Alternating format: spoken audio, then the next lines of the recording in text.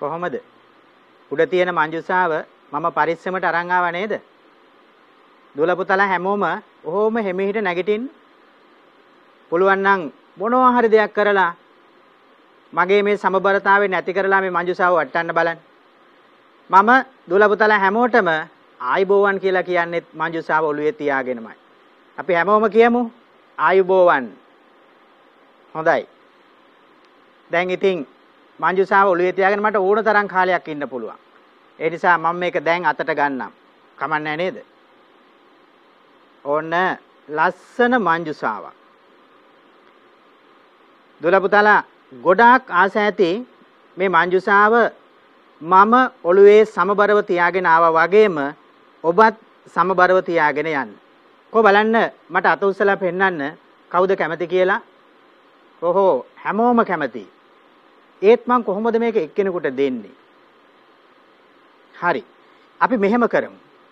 අපි හැමෝටම මේ මංජුසාව ඔළුවේ තියාගෙන සමබරව යන්න පුළුවන් විදිහේ හරි අපූර්ව ක්‍රීඩාවක් කරමුද? කැමතිද? ඔව් ඔව් දුවලා පුතාලා ගොඩාක් කැමති මේ ක්‍රීඩාව කරන්න නම්. කොහොමද ක්‍රීඩාව කරන්නේ කියලා ඔබ දන්නවද? අපි ටිකක් සැලසුමක් ඇතුව හොඳට සංවිධානය වෙලා පන්තියේ දරුවොත් ඉන්නවනේ 35ක් විතර අද 36ක් ඇවිල්ලා ඉන්නවා. එහෙමනම් මේ 36 දෙනාටම මේ මංජුසාව සමබරව ගෙනියන්න පුළුවන් විදිහේ අපූර්ව ක්‍රීඩාවක් අපි දැන් සැලසුම් කරමු. ක්‍රීඩාව පන්ති කාමරේ කරන්න බෑ. එළියට යන්න ඕන. හැබැයි එළියට යන්න කලින් අපි මෙතනදී කතා කරගමු අපි කොහොමද මේ ක්‍රීඩාව කරන්නේ කියලා. 36 දෙනාම එන්න කැමති නේද? කො බලන්න අසනීපයක් එම තියෙන දරුවෝ කවුරුත් නැහැ. කවුරුත් කැමති යන්න. එහෙමනම් අපි මුලින්ම මේ 36 දෙනාම ක්‍රීඩාවට සම්බන්ධ කරගන්න කණ්ඩායම් දෙකක් හදාගනිමු. මේ බලන්නකෝ අපි කොහොමද මේ ක්‍රීඩාව සැලසුම් කරන්නේ කියලා. දුල පුතාලට පුළුවන් මෙන්න මේ විදිහට මේ ක්‍රීඩාවට සූදානම් වෙන්න. මුලින්ම අපි කණ්ඩායම් දෙකකට බෙදෙමු. හරි පහසුයිනේ. ඔබ කැමති විදිහකට කණ්ඩායම් දෙකකට බෙදෙන්න ඕන. ඊළඟට નિયમિત පරතරය ඇතුව වච්චි 12ක් ඇඳ ගන්න ඕන. ඔව් ඉන්න ඉන්න. මම කියලා දෙන්නම් පරතරේ කොච්චරක්ද වච්චි කියන්නේ මොනවද කියලා. දැනට මතක තියාගන්නකෝ નિયમિત පරතරයක් ඇතුව වච්චි 12ක් එලිමහනේ ඇඳ ගන්න ඕන කියලා. ඊළඟට මෙන්න මේ දේත් අපි කරගන්න ඕන. අලංකාර මංජුසා දෙකක් සාදා ගන්න ඕන. මගේ ළඟ තියෙනවා ලස්සන මංජුසාවක්. මීට වඩා ලස්සන මංජුසා දෙකක් මම දුවලා පුතාලට ගෙනල්ලයි තියෙන්නේ. ඒ දෙකත් අපට අවශ්‍ය වෙනවා මේ ක්‍රීඩාව කරන්න. මේ බලන්න මම හිස මත තියාගෙන ආව මංජුසාව. හරි ලස්සනට අලංකාර කරපු මංජුසාවක්. දුවලා පුතාලට පුළුවන් මේ වගේ ලස්සන මංජුසාවක් හදාගන්න. අද අපි ඉස්සෙල්ලාම මේ ක්‍රීඩාව කරන නිසා මම දුවලා පුතාලට ලස්සන මංජුසා දෙකක් හදාගෙනයි ආවේ. මෙන්න මේ වගේ මංජුසා දෙකක්. මේක ටිකක් තරමක් විශාල එකක් වුණා නම් තවත් හොඳයි. බලන්න මෙන්න මේ වගේ අලංකාර මංජුසා දුවලා පුතාලට සකස් කරගන්න පුළුවන්. දැන් අපි මේ ක්‍රීඩාව කරන්න සූදානමක් තමයි මේ ඇති කරගන්නේ. තවත් මේ ක්‍රීඩාවට අපි ආරම්භයක් දෙන්න ඕන.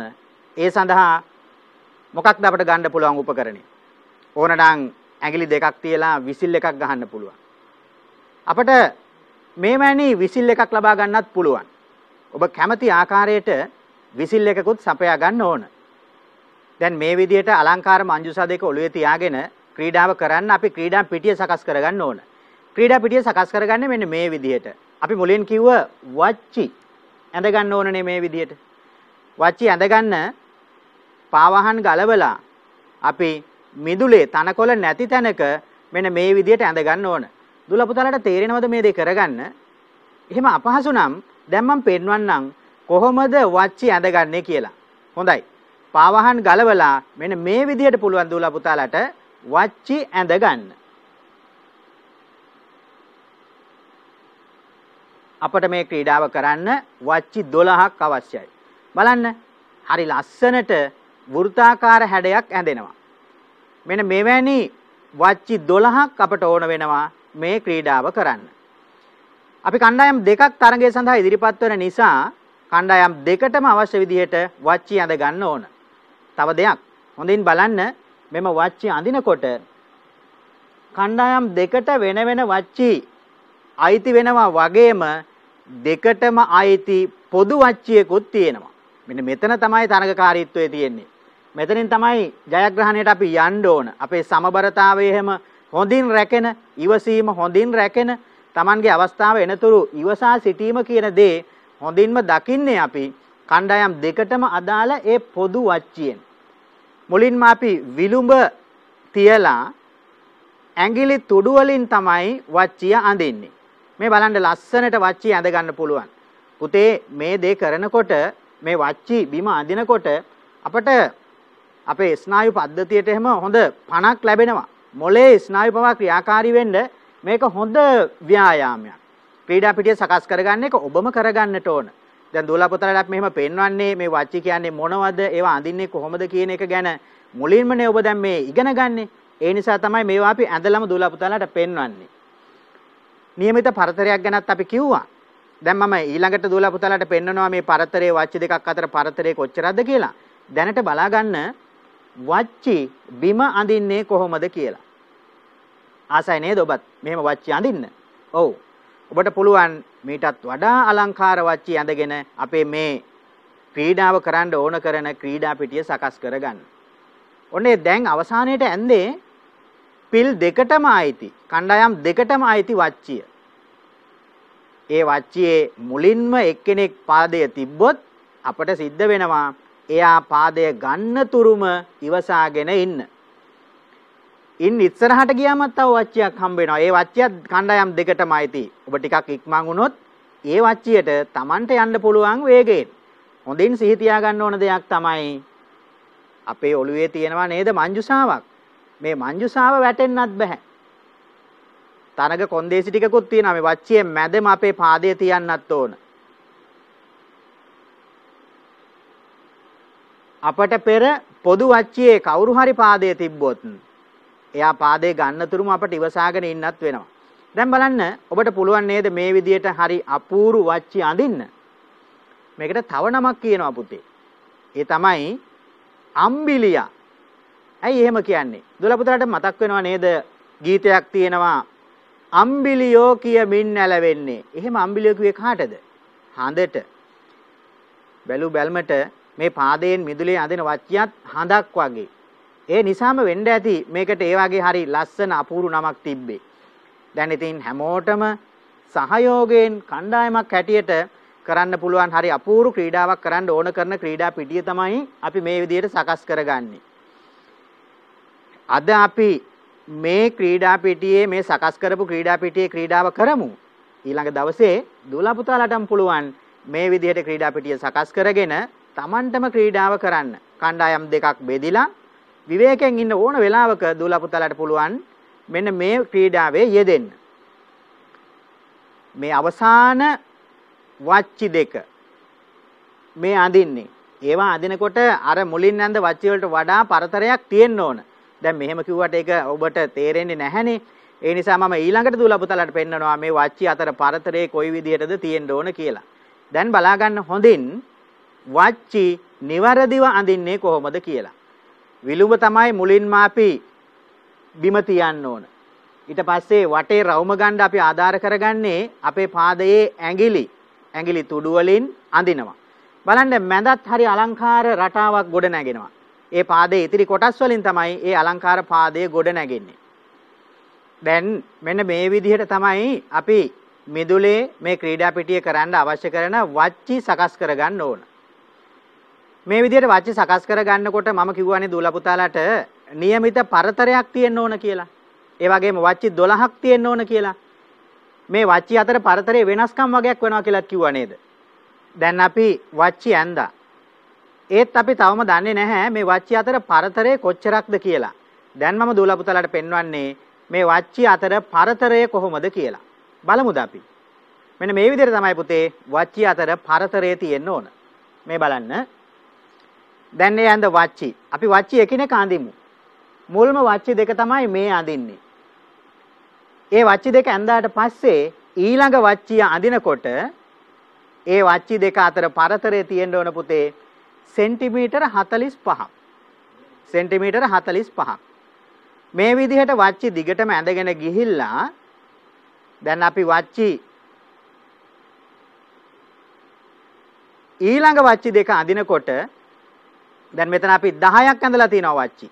මේ 10 අතරම පරතරය සෙන්ටිමීටර 45යි. අවසාන වච්චි දෙක අඳින්නේ සෙන්ටිමීටර 120ක් දුරින්. දැන් හරි පැහැදිලිනේ. වච්චි 10ක් අපි අඳිනවා සෙන්ටිමීටර් 45ක් පරතරය ඇතුව. අවසාන වච්චි දෙක අඳින්නේ සෙන්ටිමීටර 120ක් දුරින්. දැන් ක්‍රීඩාව ආරම්භ කරන්න අවශ්‍ය කරන ක්‍රීඩා පෙටිය නිවැරදිව සකස් කරගන්න මගේ දූල පුතාලා දන්නවා. මේ බලන්න පුතාලාට දම් පාටින් පේනවා ඊතල දෙකක්. ඒ ඊතල මැද වචනයක් ලියලා තියෙනවා. ඒ තමයි මේ වච්චිව හඳුන්වන නම. එක්ක වච්චි එහෙම නැත්නම් අම්බිලියා කියලා අපි මේවට කියනවා. දැන් මේ අම්බිලියා මතින් යමින් ක්‍රීඩාව කරන්න තමයි අපි සූදානම් වෙන්නේ. අපි මීටර් කෝදුවක් තියලම දූල පුතාලාට මේ පරතරයත් පෙන්වලා තියෙනවා. දැන් ප්‍රශ්නයක් තියෙනවා ඔබටනේ. මොකක්ද ඔබට තියෙන ප්‍රශ්නය? ඉස්සලා ඇඳේ කකුලෙන්. එතකොට සුදු පාටක් තිබ්බේ නැහැ.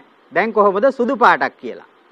සමහර විට ඔබේ පාසල් භූමියේ සෑම තැනම තියෙන තනකොළ නම් අපි කිව්ව විදිහට වච්චි අඳින්න බැරි වෙනවා කකුලෙන්. එහෙම අවස්ථාවක ඔබට පුළුවන් රවුම් ටිකක් ඇඳගන්න ඒ රවුම් වටේ ඔබට පේන විදිහට යමක් දාගන්න. අපි මෙතන නම් සුදු පාට ද්‍රව්‍යයක් භාවිත කරලා තිනවා දූලා පුතාලට පැහැදිලිව පේන්නත් ඕන නිසා. මේ විදිහට සෙන්ටිමීටර් 45 පරතරයක් ඇතුව වච්චි ඇඳගෙන දැන් අපි සූදානම් වෙන්නේ මේ ක්‍රීඩාව නිවැරදිව කරන්න. ඉස්සලම බලලා ඉමු අපි කොහොමද මේ ක්‍රීඩාව කරන්නේ කියලා. ඒක හොඳයි නේද? එක සැරයක් නිවැරදිව මේ ක්‍රීඩාව කරන විදිහ බලන් හිටියාම මගේ දූලා පුතලාටත් වරද්දන්නේ නැතුව නිවැරදිව මේ ක්‍රීඩාව කරන්න පුළුවන්. මෙන්න මේ ක්‍රීඩාවේ පොඩි පොඩි නීති රීති ටිකකුත් තියෙනවා. කරන්න ඕන දේවල් ටිකක් තියෙනවා, වරදින තැන් ටිකකුත් තියෙනවා.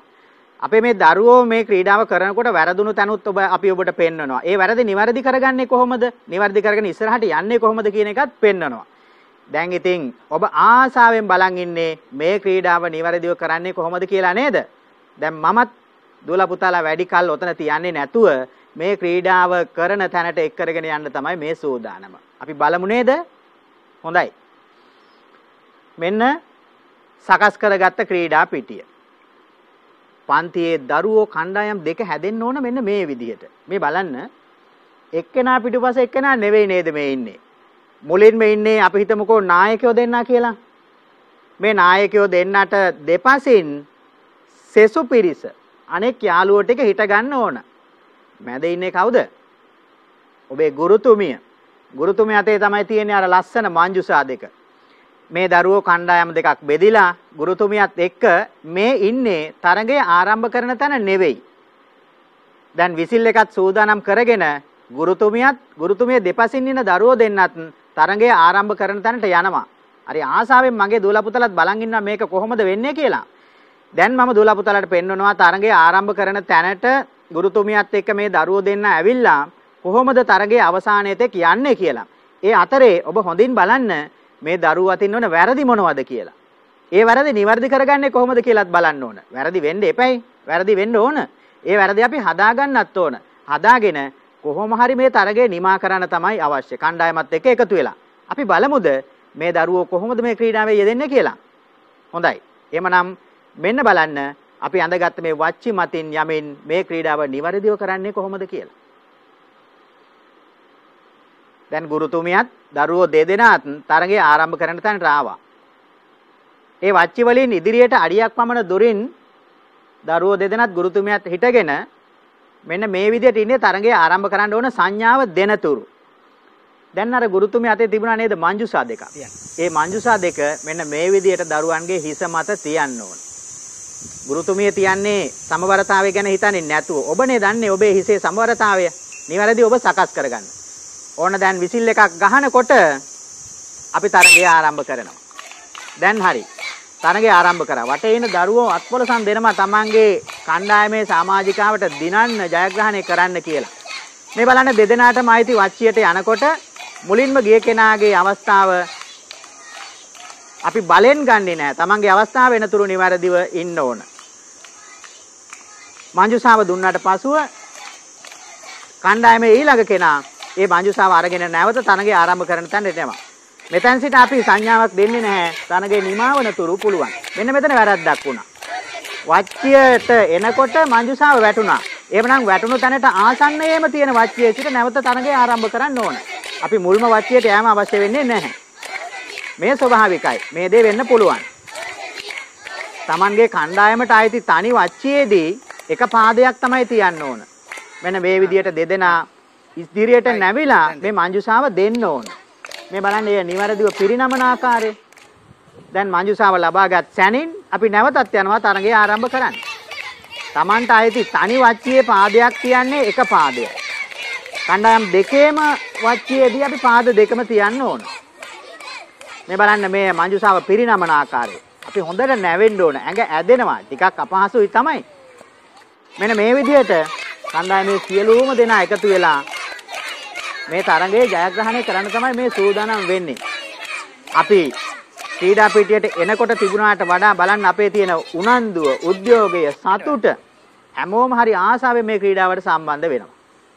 මොනවද කරන්න තියෙන්නේ? වච්චි මතින් නැවිදින්න ඕන. Tamanට අයිති වච්චියේ කණ්ඩායමට අයිති වච්චියේ තියන්න ඕන එක පාදයක්. පාදයෙන් පාදේ මාරු කරමින් තමයි යන්න ඕන. කණ්ඩායම් දෙකටම අයිති වච්චියේ පාදේ තියෙනකොට පාද දෙකම තියන්න ඕන. ඉස්සල්ලාම එන කෙනා පාදයේ තිබ්බොත් පොදු වච්චියේ Tamanට සිද්ධ වෙනවා එයා පාදේ ගන්න තුරුම ඉන්න. මේ දරුවෝ නිවැරදිව මේ ක්‍රීඩාව කරනවා. වච්චියේ ඉඳගෙනම තමයි වච්චියේ හිටගෙනම මේ මංජුසාව ලබා ගන්නට ඕන. ගොඩක් දේවල් හිතන්න ඕන. ඉක්මනට යන්නත් ඕන. හිස මත තියෙන මංජුසාව ආරක්ෂා කරගන්නත් ඕන. මේ සියලුම දේ ගැන හිතමින් ඊටාම උනන්දුවෙන් සතුටින් විනෝදයෙන් කරන්න පුළුවන් ක්‍රීඩාවක් තමයි අපි දැන් මේ කරන්නේ. දැන් බලන්නකෝ මොනවද සිද්ධ වෙන වැරදි කියලා මංජුසාව වැටෙන්න පුළුවන්. ඒ වගේම තනි පාදයේ තියන්න ඕන වච්චියේ පාද දෙකම තියෙන්නත් පුළුවන්. ඒ වගේ අවස්ථාවල ඒවා අපි නිවැරදි කරගන්න ඕන. මේ දරුවෝ ඒ වැරදි නිවැරදි කරගෙන ඉස්සරහට යනවා. අපි වැරදුනා කියලා කොහොමවත් එතන නතර වෙන්නේ නැහැ. ඒ වැරද්ද නිවැරදි කරගන්න මේ ක්‍රීඩාව ඇතුළේම අපට ක්‍රම කියලා දෙනවා. මේ බලන්න හොඳින් හිතන්නත් ඕන. දැන් මේ පාදය එකක්ද දෙකක්ද මේ වච්චියේ තියන්න ඕන. වගේ ගොඩක් දේවල් හිතමින් හිස මත තියෙන මාංජුසාවත් ආරක්ෂා කරගනිමින් මේ දරුවෝ තමන්ගේ කණ්ඩායමේ ජයග්‍රහණය වෙනුවෙන් තමයි කටයුතු කරන්නේ. දුවේපති ඔබ හිතන්න ඕන ජයග්‍රහණය කරන්න ඕන. වේගවත් බවක් තියෙන්න ඕන. හැබැයි මේ ජයග්‍රහණ අපි කරන්න ඕන අර තරඟයේ තියෙන සියලුම නීති රීති ආරක්ෂා කර ගනිමින් සුවදත්වය සමගිය සතුට මේ සියල්ලම ආරක්ෂා කර ගැනීම තමයි ජයග්‍රහණය කරන්නේ. තරඟයට ඉදිරිපත් වෙන්න ඕන නම් කණ්ඩායමේ සියලුම දෙනා තරඟය නිමා කරනවා කියන අරමුණ ඇතුවයි. අන්න වැරද්දක් වුණානේ දෙදෙනා අතින්ම. ඒ වැරද්ද ඕන්ම නිවැරදි කරගන්නවා. දැන් වේගයෙන් යන්න පුළුවන්. ඒ කියන්නේ මේ දරුවෝ තුල සමබරතාවය කියන එක දැන් හොඳින්ම ඇති වෙලා. දැන් දුවලා පුතාලත් නොයිවසිල්ලෙන් බලන් ඉන්නේ කොයි වෙලේද අපට අවස්ථාවක් එන්නේ මේ ක්‍රීඩාව කරන්න කියලා නේද? අන වච්චියට පාදේ තියෙනකොටම මංජුසාව වැටෙනවා. ඊට ආසන්නයේම තියෙන වච්චියේ සිට නැවත උඩට පුළුවන් තරගය ආරම්භ කරන්න. ගුරුතුමිය බලන් ඉන්නේ දුවලා පුතාලා මේක නිවැරදිව කරන ආකාරය. වැරද්දක් වුණොත් අපි ඒකට දඬුවම් මෙහෙම කරන්නේ නැහැ. ඒ වැරද්ද ඊටාම ඉක්මනින් නිවැරදි කරගන්න ඕන. මෙවැනි ක්‍රීඩා තුළින් දුවේ පුතේ අපි අපේක්ෂා කරන්නේ ඒ වාගේ හොඳ ගුණාංග දරුවන් තුළ වර්ධනය කරන එක. ඔන්න ක්‍රීඩාව අවසానයි. දැන් දුවලා පුතාලා අපි මේ පෙන්නුවේ සම්පූර්ණ ක්‍රීඩාවම නිවැරදිව කරන ආකාරය. දරුවෝ සියලු දෙනාම ක්‍රීඩාවේ යෙදෙන ආකාරය අපි පෙන්වුවේ නැහැ. වෙලාවත් මදිනේ. මේ ක්‍රීඩාව කරනකොට අපි අතින් වෙන වැරදි මොනවද? ඒ වැරදි නිවැරදි කරගන්න මේ ක්‍රීඩාව ඇතුළේම මොනවද යොදලා තියෙන උපක්‍රම මේ සියල්ල දැන් දරුවෝ දන්නවා. ඔබ දන්නවා. ඔබට දැන් මේ ක්‍රීඩා පිටිය සකස් කරන්නත් පුළුවන් මේ විදිහට ක්‍රීඩා පිටිය සකස් කරගෙන අපිත් මේ ක්‍රීඩාවේ යෙදෙන්න ඕන. දැන් අපි ක්‍රීඩාව කරා. ඔබ ක්‍රීඩාව කරේ නැහැනේ. මේ ක්‍රීඩාව කරාට පස්සේ අපට මොනවද දැනෙන්නේ? අපි තව සුළු මොහොතකින් සියලුම දෙනා එළියට ගිහිල්ලා මේ ක්‍රීඩාව කරනවා. ක්‍රීඩාව කරාට පස්සේ අපට මොන වගේ දේවල්ද දැනෙන්නේ කියලා දැනගන්න දුවලා පුතාලා ආසයි නේද? දැන් මම දුවලා පුතාලාට පෙන්වනවා අපි මේ ක්‍රීඩාව කරනකොට අපි තුල අපි නොදැනුවත්ව යහපත් ගුණාංග රාශියක් වර්ධනය වෙනවා. ඒ අපි තුල ගොඩනැගෙන ගුණාංග මොනවද කියන එක අපි දැන් බලමු. මේ ක්‍රීඩාව තුළින් අපි තුල ගොඩ නැගෙන යහපත් ගුණාංග මොනවද කියන එක දැන් අපි බලමු. මේ බලන්න ශරීරය සමබරව තබා ගත හැකි. හරි පැහැදිලිනේ. මමත් පන්තියට ආවේ මෙන්න මේ මංජුසාවක් මේ විදිහට ඔළුවේ තියාගෙන. මම ඇවිදගෙන එනකොටත් පාද එකිනෙක මාරු කරමින් තියෙනකොට මටත් ගොඩක් දේවල් හිතන්න වුණා. ඔළුවේ තියෙන මංජුසාව වැටෙයිද? ඒක සමබර කරගන්න මට පුළුවන්. මගේ ශරීරයේ අත් දෙක මේවා යොදාගෙන මට මේක සමබර කරගන්න පුළුවන්. හැබැයි දුවලා පුතලන් මෙතන තරඟකාරීත්වයක් තියෙනවානේ. අර වච්චි වලට මාරු වෙන්නත් ඕනනේ. ඉතින් මේ මාරු වෙනකොට කකුල උස්සනකොට කකුල බිමින් තියෙනකොට මේ මංජුසාව වැටෙන්න පුළුවන්. අපි කොච්චර දේවල් ගැන හිතන්න ඕනද නේද? ශරීරයේ සමබරව තබා ගැනීමේ හැකියාව මෙන්න මේ ක්‍රීඩාව තුළින් හරි අපූර්වට අපි තුල අපි නොදැනුවත්වම සංවර්ධනය වෙනවා. මේක අත්‍යවශ්‍ය දෙයක්. සමබරතාවය කියන එක අත්‍යවශ්‍ය දෙයක්. තව මොනවද මේ ක්‍රීඩාව තුළින් අපි තුල සංවර්ධනය වන යහපත් ගුණාංග? මේ බලන්න පුතේ. ඉවසීම. ඉවසීම. සමහර විට නැත්තෙම ඒක නේද? මේ ඉවසීම ඇති කරන්න කියලා අපි කොච්චර කටෙන් කිව්වත් ඕක හරියට කරගන්න අමාරුයි පුතේ. දැන් බලන්න තරඟයකට ඉදිරිපත් වෙලා ඉවසීම ප්‍රගුණ කරන්න කොච්චර පහසුද? කොහොමද මේ ක්‍රීඩාව තුළින් අපි ඉවසීම ප්‍රගුණ කළේ? පොදු වච්චයක් තිබුණා නේද? කණ්ඩායම් දෙකටම අයිති පොදු වච්චයක් තිබුණා. දෙදෙනෙක් දැන් ඒ වච්චියට එනවා. ඒ අනත එන අතරේ එක තත්පරයකින් එක්කෙනෙක් අපට වඩා ඉදිරියට ගිහිල්ලා ඒ වච්චියේ පාදයේ තියෙනවා. දැන් ඉතින් මොකද වෙන්නේ? ඉවසන්න වෙනවා නේද? ඒ යාළුවා Tamanගේ පාද ඒ වච්චයෙන් ඉවත් කරගන්න තුරු අපිට ඉවසාගෙන ඉන්න වෙනවා. ඒ ඉවසන අතරේ හිස මත තියෙන මංජුසාව ආරක්ෂා කරගන්නත් ඕන. අපි කේන්තියෙන් නෙවෙයි මේ ඉවසීම නම් ප්‍රගුණ කරන්නේ. අපේ කණ්ඩායම ජයග්‍රහණය කරවන්න අපට ලැබුණු අවස්ථාවේදී අපි ඉවසීම කියන එක ප්‍රගුණ කරගත යුතුමයි. ඉතින් මේ ක්‍රීඩාව තුළින් දරුවන් තුළ ඉවසීම කියන එක ඉතාම අපූර්වවට සංවර්ධනය වෙනවා. තව මොනවද? මේ බලන්න. අවසානයතෙක් වැඩක් නිම කිරීමේ හැකියාව. පුතේ මෙහෙම කියනකොට දෝලා පුතාලට මතක් වෙනවා නේද ලෝක ප්‍රසිද්ධ චරිතයක්. අපි දෝලා පුතාලට මීට පෙරත් ඒ ගැන කිව්වා. ජපානයේ ඔලිම්පික් ක්‍රීඩා වලට සම්බන්ධ වෙලා අපේ ලාංකීය තරුණයෙක් ලෝකයටම ආදර්ශයක් වන ක්‍රියාවක් කළා නේද? සියලුම දෙනා තරඟයේ අත්හරලා තියෙන අවස්ථාවක මොහු තරඟය නිමා කළා. ඒ කවුද? රණතුංග කරුණානන්ද නම් වූ අසම සම ක්‍රීඩකයා. ඉතින් තරඟයකට ඉදිරිපත් වෙන්න ඕන තරඟය ජයග්‍රහණය කිරීමටම නොව තරඟය සාර්ථකව නිමා කිරීමේ අරමුණ ඇතුව. ඉතින් මගේ දුවලා පුතාලත් මේ ක්‍රීඩාවට ඉදිරිපත් වෙනකොට අවසානය තෙක් ඒ ක්‍රියාව නිමා කරනවා කියන අරමුණ ඇතුවම තමයි තරඟයට ඉදිරිපත් වෙන්න ඕන. ඉතින් මේක යහපත් ගුණාංගයක්. ලෝකයේ දිනන්න පුළුවන් යහපත් ගුණාංගයක්. මේක පුංචි කාලයේම දරුවන් තුල සංවර්ධනය වෙන එක ඊටාම හොඳයි. ඒවා ඒවැනි ගුණාංග ඔබ තුල ඇති කරන්න පුළුවන් හොඳම මාර්ගය තමයි මේ ක්‍රීඩාව. තව ගොඩාක් දේවල් තියෙනවා පුතේ ඔබ තුල දියුණු වන යහපත් ගුණාංග. මේ බලන්න. ඔබ තුලත් සතුටක් තියෙනවා. ඒ වගේම ඔබේ යහළුවන් තුලත් තියෙන සතුට බලන්න. ඔබ දිනන සෑම වාරයක් පාසාම ඔබේ යහළුව සතුටු වෙනවනේ. Tamanගේ කණ්ඩායමේ යහළුවා වච්චි මතින් ඉදිරියට එනවා දැක්කහම යාළුවෝ කොච්චර සතුටු වෙනවද? කෙනෙකුගේ සැපතකදී සතුටු වෙන්න පුළුවන් නම් මේක මොනතරම් ලොකු දෙයක්ද? සමහර විට අපි කැමති නැහැ නේද? තවත් කෙනෙක් දිනුවාම තවත් කෙනෙක් ජයග්‍රහණය කරාම සතුටු වෙන්න. ඉතින් මේ අවස්ථාවේදී දරුවෝ ඇයි මෙහෙම සතුටු වෙන්නේ? අර තනි පුද්ගලයාගේ ඒ යහළුවාගේ ජයග්‍රහණය තමයි කණ්ඩායමේ ජයග්‍රහණයට හේතු වෙන්නේ. ඒ නිසා ඔබත් උදව් කරනවා එයාට ඉස්සරහට එන්න. කොහොම හරි දිනන්න. නිවැරදිව ඉදිරියට එන්න කියලා ඔබ උනන්දු කරනවා. ඉතින් ඔබත් සතුටු වෙනවා මේ ක්‍රීඩාවට සම්බන්ධ වීම තුලින්. තව මොනවද? මෙන්න තවත් යහපත් ගුණාංගයක්. සතුට සඳහා අන් අයගේ නිදහස සීමා නොවන අයුරින් කටයුතු කිරීම. ඊටාම වැදගත්. ඊටාම වැදගත්. අපි සතුටු වෙනකොට තවත් පිරිසක් දුකටපත් වෙනවා නම් ඒ වගේම අන් අයගේ සතුට නැති කරලා නම් අපි සතුටටපත් වෙන්නේ අපේ සතුටෙන් ඇති ඵලය කුමක්ද? දුවේ පුතේ ඔබ මේ හොඳින් ඉගෙන ගන්න ඕන. සතුට සඳහා අන් අයගේ නිදහස සීමා නොවන අයුරින් කටයුතු කිරීම. කොහොමද මේ ක්‍රීඩාව තුළින් අපි ඒක දැක්කේ? අර මංජුසාව හිස මත තියාගෙන යනකොට Tamanගේ කණ්ඩායමට අයත් වච්චියේ නම් ගමන් කරන්න පුළුවන්. කවුරුවත් එකට එන්නේ නැහැ. නමුත් පොදු වච්චියේදී ඔන්න තමන්ගේ නිදහස ප්‍රතිවිරුද්ධ කණ්ඩායමේ කෙනා අතින් නැති වෙන්න පුළුවන්. ඒක තරගයේ ස්වභාවය.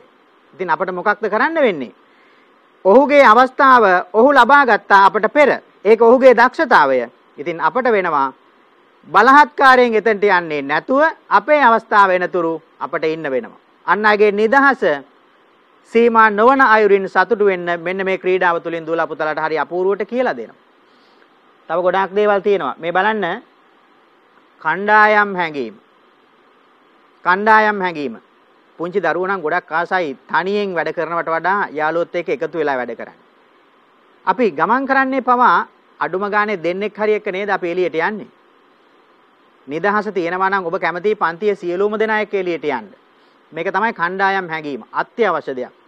විවිධ අදහස් දරන පිරිසක් එක්ක අපට පුළුවන් නම් සමගියෙන් ඉන්න ඔවුන් හා සමසමව ඒක ඊටාම හොඳ ගුණාංගයක්. මේ ගුණාංගය ප්‍රගුණ කරනවා මේ ක්‍රීඩාව තුළින්. දුවේ පුතේ මේවා ප්‍රගුණ කරන්න පුළුවන් හරි අපූර්වම මාර්ග හැටියට ක්‍රීඩාව යොදා ගන්න පුළුවන් කියන එක දැන් දුවලා පුතාලට පැහැදිලි. මේ විනෝදයෙන් සතුටින් කරන්න පුළුවන් ක්‍රීඩාවෙන් අපි තුල මොනතරම් යහපත් ගුණාංග රාශියක් වර්ධනය වෙනවද? මේ බලන්න තරඟකාරීත්වය. තරඟකාරීත්වය කිව්වහම පුතේ අත්‍යවශ්‍යයි තරඟයත්. හැබැයි මේ තරඟය කියන එක අවශ්‍ය වෙන්නේ අනේකා පරාජයටපත් කරන්න නම් නෙවෙයි. තරඟකාරීත්වය කියන එක අවශ්‍ය වෙන්නේ අනේකාද සමග තමන්ගේ ජයග්‍රහණය ලබා ගැනීම සඳහා. තරංකාරීත්වයක් නැතිනම් සමහර විට අපි ඉදිරියට යන්නත් ටිකක් අකමැති වෙනවා. තවත් කෙනෙක් අපිත් එක්ක එනවා දකින්නකොට ඔහුගේ වේගයත් එක්ක අපි තුලත් කිසියම් වේගයක් නිර්මාණය වෙනවා. මේ නිර්මාණය වීම සඳහා අවශ්‍යයිනේ සම සම දක්ෂයන්. මේ සම දක්ෂයන් අතරේ තරගකාරීත්වයක් ගොඩනගෙන්න ඕන සියලුම දක්ෂතා ඉස්මතු වන ආකාරයට. මේ ක්‍රීඩාව තුළින් දුල පුතලා තුල තරගකාරීත්වය ගොඩනගනවා. මේ තරංකාරීත්වය ගොඩනගන්නේ කණ්ඩායමත් එක්ක පන්තියේ සියලු දෙනාමත් එක්ක ඉදිරියට යන්න අවශ්‍ය නිසා. මෙය ජීවිතය දිනන්න. ඔබ මුහුණ දෙන ඕනෑම අභියෝගයකට මුහුණ දෙන්න තරඟකාරීත්වය කියන එක අවශ්‍යයි. වරදවා තේරුම් ගන්න එපා පුතේ. ජීවිතයේ සෑම අවස්ථාවක්ම තරඟයක් නම් නෙවෙයි. නමුත් ඔබට කිසියම් කටයුත්තකදී එම කටයුත්තේ සාර්ථකත්වයේ වේගවත් බව සහ ජයග්‍රහණය උදෙසා ඊටාම සාධාරණ අහිංසක තරගකාරීත්වයක් අත්‍යවශ්‍යයි. මෙන්න මේ ක්‍රීඩාව තුළින් දුවලා පුතාලා තුළ මේ තරගකාරීත්වය කියන එක හරි අපූර්වට නිර්මාණය කළා. දැන් ක්‍රීඩාවට සම්බන්ධ වන දුවලා පුතාලා මේවා දැනගෙන නම් නෙවෙයි වෙන්න ඇති මේ ක්‍රීඩාවට සම්බන්ධ වුණේ. දැන් ඔබ දන්නවා ක්‍රීඩාව කිරීම තුළින් අපි මොනතරම් දේවල් ඉගෙනගෙනද නැවත පන්ති කාමරයට යන්නේ. අන්තර් සම්බන්ධතා පවත්වා ගැනීම. මේ මංජුසාව දෙනකොට පහසුවෙන් දෙන්නෙත් නැහැ. අත ගොඩාක් දිගු කරලයි දෙන්නේ. එතකොට ගන්න මොකක්ද කරන්න ඕන? අපි පුළුවන් තරම් ඉදිරියට නැවෙන්න ඕන. අනෙක් යහළුවත් ඒ තරම් ඉදිරියට නැවෙන්න ඕන. මේ නැවෙනකොට දෙදෙනා අතර අන්තර් සම්බන්ධතාවයක් ගොඩ නැගෙනවා. මේවා අපි කියලා නෙවෙයි. ක්‍රීඩාවේ ස්වභාවය තමයි. මෙන්න මේ විදිහට සමබරතාවය, අන්තර් සම්බන්ධතාවය මේ සියල්ල සමගින් තමයි මේ ක්‍රීඩාව ජයග්‍රහණය කරන්න පුළුවන්. ඉතින් මේ කියන ගුණාංග ජීවිතය දිනන්න අවශ්‍ය වෙන ගුණාංග. ඒවා අපි ප්‍රගුණ කරන්නේ, ඒවා අපි දියුණු කරගන්නේ මෙවැනි හරි විනෝදජනක ක්‍රීඩා තුලින් සුහදයි. ජයග්‍රහණය කරාට පස්සේ ජයග්‍රාහී කණ්ඩායම අතර හොඳ සුහදත්වයක් ගොඩ නැගෙනවා. මේ තරගේ නිමා කරන්නේ කොහොමද? පළමු වටේ නිමාවන විට එක කණ්ඩායමක් තමයි ජයග්‍රහණය කරන්නේ. ඉතින් අපි කණ්ඩායමත් එක්ක එකතු වෙලා ජයග්‍රහණය භුක්ති විඳිමින් යනවද? එහෙම නැතිනම් අනෙක් කණ්ඩායමේ යහළුවන් සමග අපේ සෝදත්වයේ බෙදා ගන්නවද? අත්‍යවශ්‍ය දෙයක් තමයි ජයග්‍රහණය Taman භුක්ති විඳින අතරේ යහළුවන් සමග පළමු වටේ ජයග්‍රහණය කරන්නට අපහසු යහළුවන් සමග Tamanගේ සෝදත්වය ඊටාම හොඳින් බෙදා හදා ගන්න ඕන. දෙවන වටේ සමාහට ජයග්‍රහණය කරන්නේ ඒ කණ්ඩායම වෙන්න පුළුවන්. එම නිසා ජයග්‍රහණයක් යනු සදාකාලිකව තමා සතු කරගන්න පුළුවන් දෙයක් නෙවෙයි. එය වෙනස් වෙන්න පුළුවන්. සුහදත්වය ඊටාම අවශ්‍ය ගුණාංගයක්. මෙන්න මේ ක්‍රීඩාව තුළින් සුහදත්වය ඔබ තුළ ඊටාම අපූර්වට නිර්මාණය කළා. මේ මංජුසාව ඔළුවේ තියාගෙන යන්න පුළුවන්ද අපේ ශරීරයේ නම්මශීලී නැතිනම් අර සෙන්ටිමීටර් 120ක් දුරින් මංජුසාව ලබා ගන්න එක පිරිනමන එක කරන්න පුළුවන්ද අපේ ශරීරයේ නම්මශීලීත්වයක් නැතිනම් අන්තර් සම්බන්ධතාවයක් නැතිනම් මෙන්න මේ කියන ගුණාංග ඊටාම අපූර්වට මේ ක්‍රීඩාව තුළින් දුවලා පුතාලා තුළ සංවර්ධනය වෙනවා දැන් ඉතින් ක්‍රීඩාව කරා හා සමාන ගුණාංග රාශියක් දුවලා පුතාලා තුළ සංවර්ධනය වුණා හැබැයි මේවා පොතක ලියලා කටපාඩම් කරාට ප්‍රමාණවත් නැහැ. මේ කරුණ ඔබ නොදැනගත්තත් කමක් නැහැ පුතේ. මේ ක්‍රීඩාව නිවැරදිව වැරදි අවමෝන ආකාරයට වැරදි නිවැරදි කරගෙන ඉදිරියට කරගෙන යන්න මේ කියන ගුණාංග දුවලා පුතාලා තුල ඉබේම සංවර්ධනය වෙනවා. අපි දැක්කා ක්‍රීඩා පිටියට එනකොට දරුවෝ තුල එච්චර සතුටු මුහුණක් තිබුණේ නැහැ. අපි ක්‍රීඩාව කරමු කියන සතුට තිබුණා. නමුත් ඒ සතුට ටිකෙන් ටික නැති වෙන්න පටන් ගත්තා මේ ක්‍රීඩාව ආරම්භ කරන්න ප්‍රමාද වීම නිසා. හැබැයි මේ ක්‍රීඩාවට සම්බන්ධ වුණාට පස්සේ දැන් දරුවෝ සියලු දෙනාම තුල ප්‍රබෝධයක් තියෙනවා. මෙන්න මේ විදිහට ඊටාම යහපත් ගුණාංග රාශියක් සංවර්ධනය කරන හරි අපූර්ව ක්‍රීඩාවක තමයි අපි අද යෙදුනේ. දැන් ඔබට පුළුවන් තනියම මේ ක්‍රීඩාව කරන්න අවශ්‍ය කරන ක්‍රීඩා පිටිය සකස් කරගන්න. පුළුවන් නේද? ලස්සන මංජුසාවක් ඔබට සකස් කරගන්න පුළුවන්. පුළුවන් නේද? ඔව්. කණ්ඩායමේ යහළුවෝ රණ්ඩු නොවන ආකාරයට දෙකකට බෙදා ගන්නත් පුළුවන් නේද? කණ්ඩායම් දෙකකට බෙදන්නත් පුළුවන් නේද? පන්ති යාළුවෝ. එය කරන්නත් පුළුවන්. එක නායකයෙක් ඉදිරිපත් වෙලා මෙන්න මේ ක්‍රීඩාව හොඳට සැලසුම් කරගෙන පන්ති කාමරයේ ගුරුතුමා හෝ ගුරුතුමිය නැති අවස්ථාවේ ඔබට කරන්න පුළුවන්. මේ තුලින් මේ කියන ගුණාංග ඔබ තුල සංවර්ධනය වෙනවා. ඒ සංවර්ධනය වීම හෙට දවසේ රට බාර ගන්න ඉන ඔබ යහපත් දරුවෙක් බවට පත් කරන්න ඉවහල් වෙනවා. ඉතින් අද කල මේ ක්‍රීඩාව මේ විනෝද ජනක ක්‍රියාව දෙගෙන් දිගටම ඉඩකඩ ලැබෙන සෑම අවස්ථාවකම ඔබ සිදු කරන්න. ඒ තුලින් අපි සඳහන් කළ යහපත් ගුණාංග වලින් හෙබි දරුවෙක් වෙන්න කියන ප්‍රාර්ථනාව කරමින් අපි අපේ යහපැවැත්ම කියන තේමාවේ මේ හරි අපූර්ව ක්‍රීඩාවත් සමගින් දුවලා පුතාලාගෙන් සමුගන්නවා. ඔබ සියලු දෙනාටම ආයුබෝවන්.